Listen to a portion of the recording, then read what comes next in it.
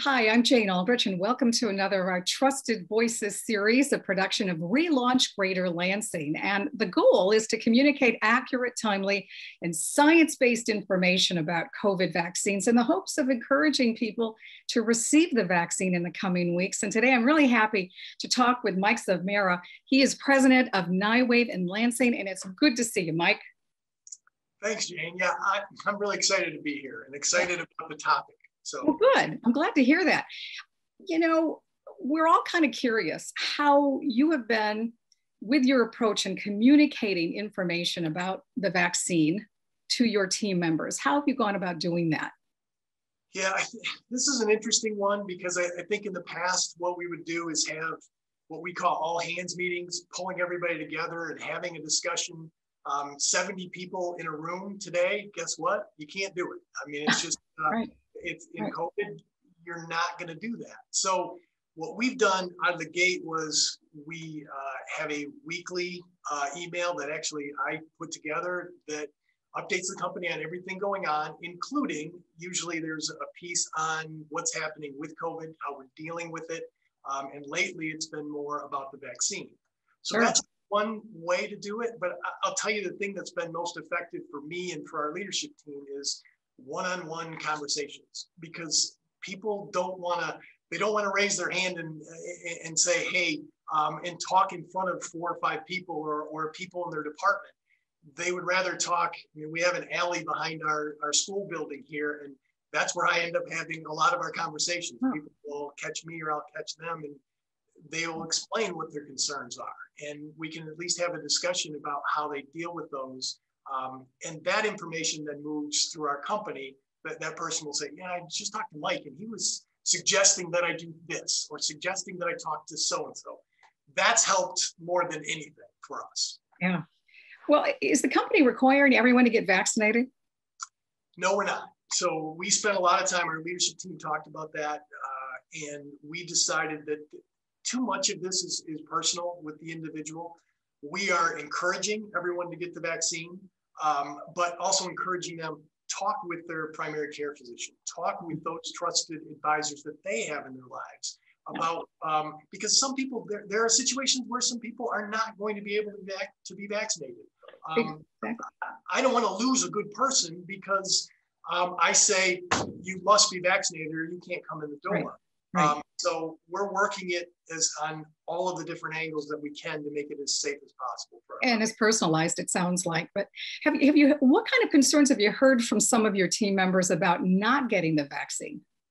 Yeah so probably the biggest one comes back to the boy they pushed this through so quickly. There, there's there's got to be something wrong with it. There's got to you know i don't want to be the first one that goes and takes it. That's probably the number one thing that comes across. So helping people understand that there was basically this um, structure of vaccine development that was already in place, that they were able to develop this. So it did cut out much of the path of a normal vaccine and mm-hmm. make it a lot quicker, on top of billions of dollars going into it at the same time. So helping people understand some of those pieces, I think is that's helped. Yeah. Um, but that is the, the one item that I hear most out of people here um, other than the uh, off the wall comments about, you know, that Bill Gates will know where I am once I have this vaccine in me yeah. and some of those, right. um, yeah. just the garbage that's out there that people struggle with reading that and understanding what's what's real and what's not. Exactly. Or Dolly Parton contracting. yes. which which I'm okay with that, frankly, because I'm a big Dolly fan, so I'm good with that. But but I understand in all seriousness, yeah. I got it. Well, you know, I understand too that Niowave's mission uh, is to cure cancer and save lives. Yes. And listen, lives are on the line with this pandemic. What do you think the biggest challenge is moving forward, Mike? Yeah, it's with us being in the medical field already um, and trying to understand what's how we can have an impact on any of this. The thing that I've struggled with as we've gone down this path is I put in two categories leadership and education. Um, as I see us trying to pull people together to say, hey, this, this isn't a political thing about whether you get vaccinated or not, or whether you're for the vaccine.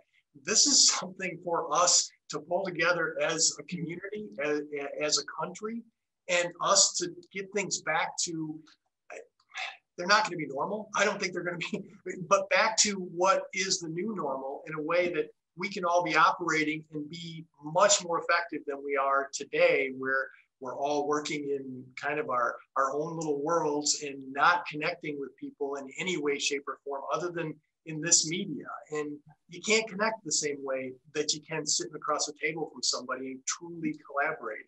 So the big hurdle to me, leadership and education and leadership demonstrating that we have a path, we have a plan, and then helping people to weed through a lot of the, the noise to say, here are the things that you should be thinking about when you're thinking about being vaccinated, when you're thinking about going back to work, when you're thinking about how you should be living in this community moving forward. That's what I think. All right. Well, I have to ask, I've been asking everybody I've talked to about this. Did you get the vaccine?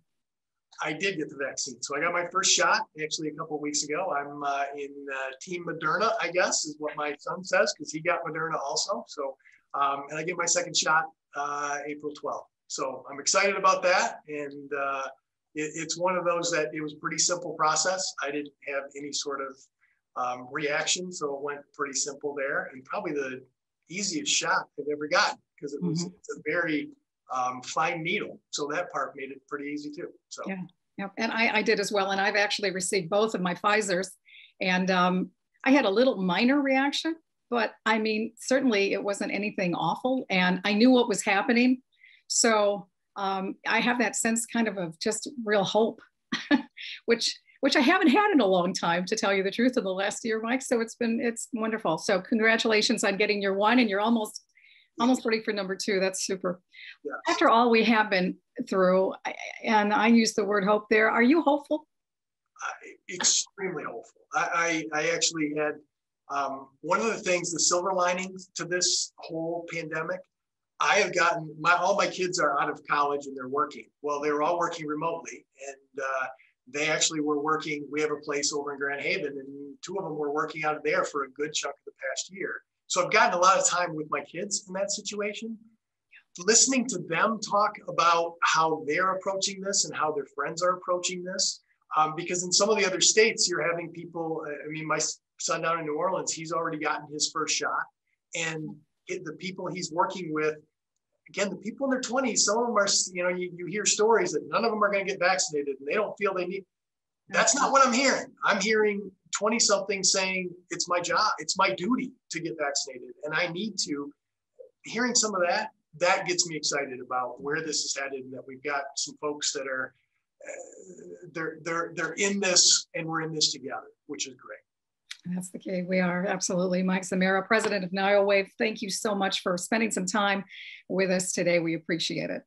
Okay, thanks, Jane. I really appreciate it. Thank you for doing it. Oh, my pleasure. And thank you, everyone watching Trusted Voices. I'm Jane Aldrich.